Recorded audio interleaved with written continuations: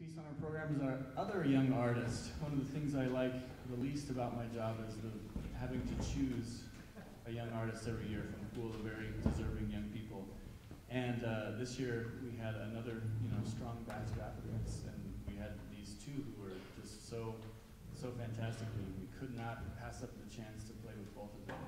So our next soloist is also a member of the orchestra. Micah Cash is um, a homeschooler and the LCC Start Running student. He is studying mechanical engineering, and he'll be playing the first movement of the Haydn C major cello concerto. So this is an interesting piece because it was thought to be lost for most of its existence. I don't know how, how much longer after it was written before it was sort of tucked away and forgotten about.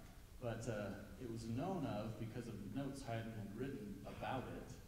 I composed this cello piece in this that's all that was known about it. But like so many um, things that are only recorded in one place on one piece of paper, it was simply thought to have been destroyed or lost or accidentally misplaced or whatever.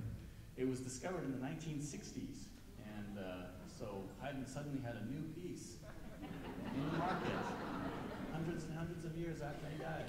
So it was very exciting for the cello community, and I think you'll find it's a really nice piece, very lovely, beautiful, uh, lyrical, song-like themes, which the cello can do like nobody else can.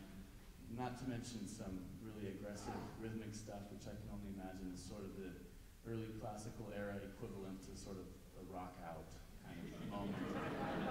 That's my own personal interpretation, but you can see what you think. So please welcome our next young artist, Micah Cash.